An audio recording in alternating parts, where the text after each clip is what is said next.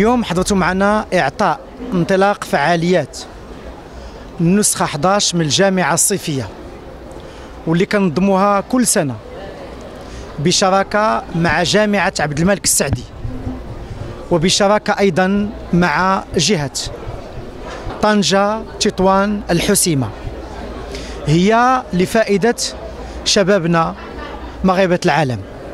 هم شباب وشابات عندهم ما بين 18 و 26 سنة. كلهم تزادوا في دول المهجر. كلهم عندهم تكوين عالي. كلهم فرضوا وجودهم بفضل الاجتهادات والمكابدة والصبر ديالهم. هذه الجامعة ملي كنظموها هو تنزيل لاستراتيجية التعاطي مع مغاربة العالم واللي كترتكز على مجموعة من المرتكزات. أولها التوجهات الملكية لمغاربة العالم. عندهم واحد الاهتمام ملكي استثنائي. لأنهم حاضرين بقوة في كل مشاريع المجتمع وكذلك في المشروع الكبير اللي كيقودوا جلاله الملك حفظه الله باش المغرب يحتل المكان اللي كيستحق اللي كيستحق ضمن الدول الكبار. كذلك تنزيلا للآليات ديال دعم الاستراتيجية على أرض الواقع وميدانيا اللي كترتكز على اولا تقوية روابط العلاقة والاتصال الدائم ما بين مغاربه العالم والوطن الأم. اللي كذلك كترتكز على الدفاع عن حقوقهم ومصالحهم. واللي ترتكز كذلك على التحصين الهوياتي سواء التحصين الثقافي أو التحصين الديني. بالمناسبة التحصين الثقافي هذه السنة غتنطلق 300 مسرحية فيها 51 مسرحية بالأمازيغية. واللي غتمشي لكل القارات وبدون استثناء. واللي غدير جولات في كل المناطق اللي كاين فيها مغاربه العالم.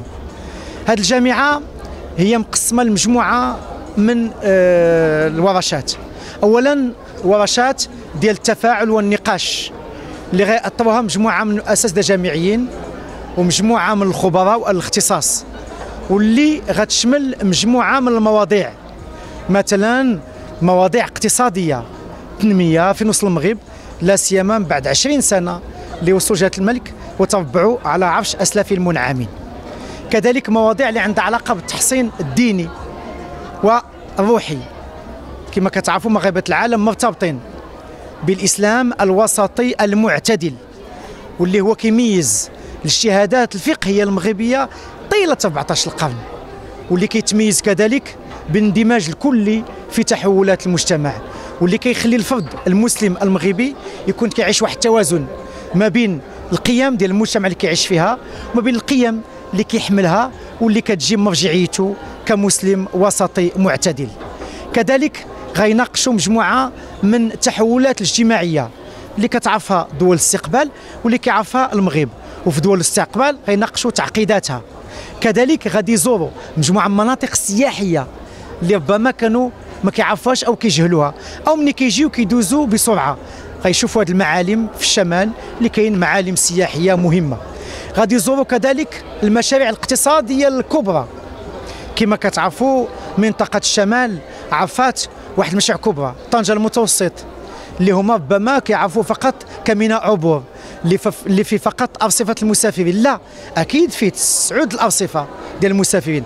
لكن كذلك ميناء تجاري اللي كيحتل الآن بفضل الإرادة الملكية كيحتل الآن رتبه 45 ضمن الموالئ العالمية التجارية. كيحتل كذلك عنده علاقة عفوا مع 77 ميناء في العالم. عنده علاقة مع 186 دولة تجاريا. فاذا ميناء اللي غينافس على المستوى المتوسطي اللي غينافس على المستوى الكوني واللي مع علامة أساسية اللي غتخلي المغرب أنه يكون حاضر بقوة على المستوى الاقتصادي. غادي يزوروا كذلك ويشوفوا معلمة أخرى اللي إرادة ملكية خلت المغرب أنه يتوفر على أول قطار سريع في إفريقيا البراق اللي خلى المسافة ما بين طنجة والدار البيضاء تمر في وقت وزيز واللي قصرت هذه المسافة. فإذا المغرب تحكم في التكنولوجيا ديال النقل ديال القطار السريع والمغرب الآن غادي يكون رائد فيها. غادي يشوفوا كذلك البنيات التحتية من طرق السيارة وغيرها. فإذا مشاريع كبرى لما يخص قطاع السيارات وقطاعات أخرى مشاريع يطلعوا ومنين غيمشيو بلادهم غيكونوا مسلحين اولا بهذه المعرفة بالنقاش النظري اللي كان بسياسة القرب اللي غيديروا مع مجموعة من الخبراء والطلبة زملائهم اللي كيدرسوا في في جامعة عبد الملك السعدي. وفي نفس الوقت أكيد أنهم غيتحولوا إلى قنوات أساسية. لما لا غدا تساهم في الاستثمار ولما لا تكون كذلك تساهم في نقل التكنولوجيا ولما لا تكون حاضر بقوة في مشروع تنموي كبير المغرب بفضل الإرادة الملكية يقود بتحدي كبير باش يواجه كل التحديات والصعوبات ولما لا أنه يوصل للمرتبه اللي كيستحقها شكرا.